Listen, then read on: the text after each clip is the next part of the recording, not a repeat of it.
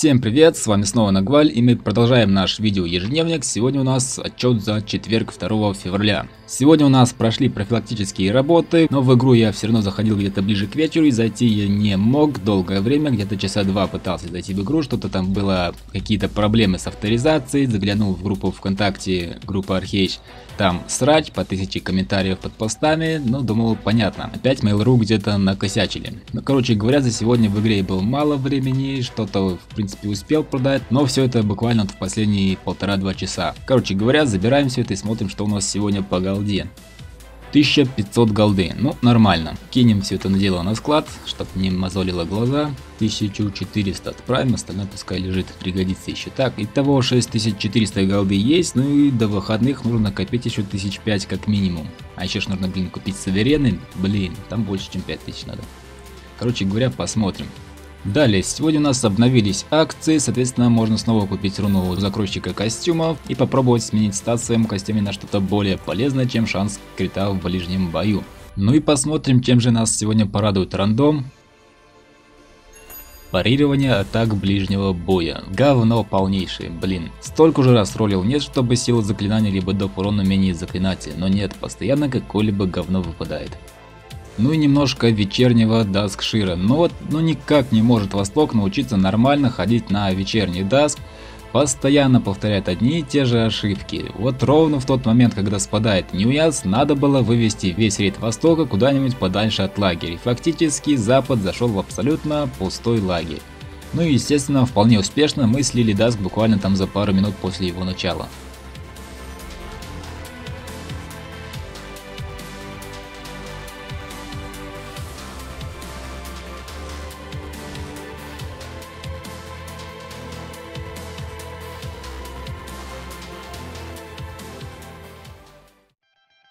Но так как заняться было больше особенно нечем, решил попробовать одну интересную вещь. Локация Радужные Пески у нас прокачана до третьего уровня, значит там можно купить временный транспорт, но я решил купить болид за 100 голды. Ну и попробовать повозить паки по тестовым маршрутам, посмотреть насколько это будет выгодно.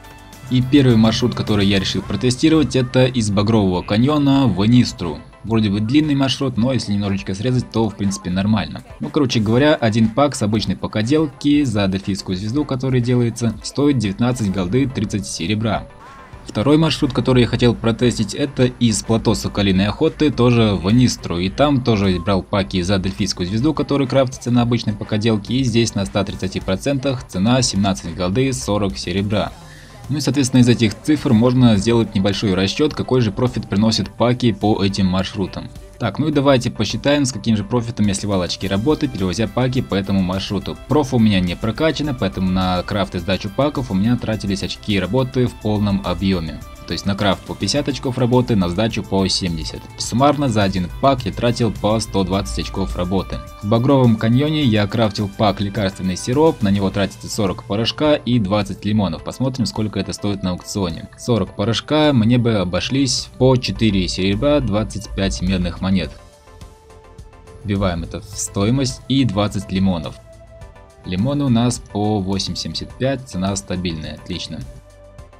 Итак, добиваем туда. Ну а насчет дельфийские звезды, не знаю, брать ее стоимость или нет. Как-то вроде у меня их и так дофига, две с половиной тысячи, поэтому они по сути для меня бесплатны. Но в целом Текущий курс на дельфийские звезды это одна дельфийская звезда стоит одну голду. Еще одну голду мы добавляем в нашу общую стоимость нашего пака, ну и 50 серебра уходит на крафт, то есть еще плюс пол голды.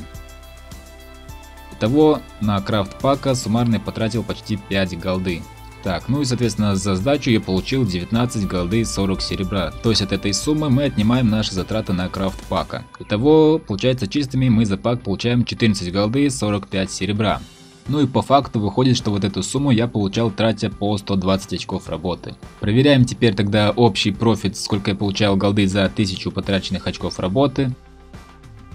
Получается, что за 1000 очков работы, таким образом я могу получить 120 голды. Ну, весьма неплохой профит, в принципе. Теперь разберем паки из плато Соколиной Охоты. В плато Соколиной Охоты я крафтил набивки для тюфяка. Поехали считать тот же лекарственный порошок, но уже 60 штук, соответственно умножаем на ту же цену, 0.425, добавляем его в стоимость пака. Дальше у нас гусиное перо. Гусиные перья у нас вообще по 4 голды за 1000, жесть. Так, это получается сколько у нас одна штука стоит. 6 делим на 1000. Получается вот такая цена. И умножаем, сколько там нам нужно было. 40 штук. Умножить на 40. Жесть. Так, дальше. Плюс 50 серебра. Ой, так, плюс 50 серебра у нас уходит сюда. Ну и плюс одна дельфийская звезда. И Общая стоимость у нас 4.29, почти столько же. Получали мы по 17.40. От 17.40 мы отнимаем нашу стоимость крафта, получаем 13.1.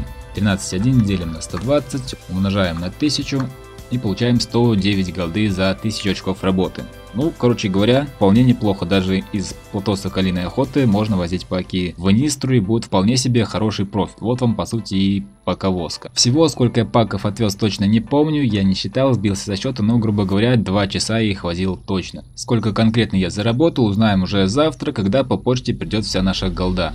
Ну а на этом, пожалуй, все. Спасибо за просмотр. С вами был Нагваль. Всем пока.